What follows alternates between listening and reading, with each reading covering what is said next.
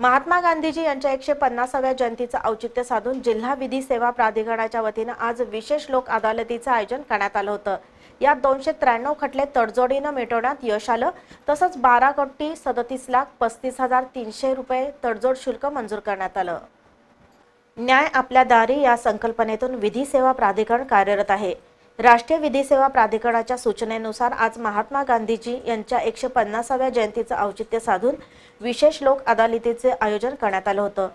कोल्हापूर जिल्हा विधी सेवा प्राधिकरणाच्या वतीनं जिल्ह्यात अठ्ठावीस पॅनल्स तयार करण्यात आली होती. आजच्या विशेष लोक अदालतीमध्ये विविध प्रकारचे दोनशे त्र्याण्णव खटले तडजोडीनं मिटवण्यात यश आलं. तसंच बारा कोटी सदतीस लाख पस्तीस हजार तीनशे रुपयांचं तडजोड शुल्क मंजूर करण्यात आलं. जिल्हा विधी सेवा प्राधिकरणाचे अध्यक्ष प्रमुख जिल्हा सत्र न्यायाधीश एन व्ही नावकर यांच्या नेतृत्वाखाली विधी सेवा प्राधिकरणाचे सचिव न्यायाधीश पंकज देशपांडे सर्व जिल्हा न्यायाधीश इतर न्यायाधीश पॅनल विधिज्ञ इतर विधिज्ञ कर्मचारी जिल्हा बार असोसिएशन यांचं या विशेष लोक अदालतीला सहकार्य लाभलं.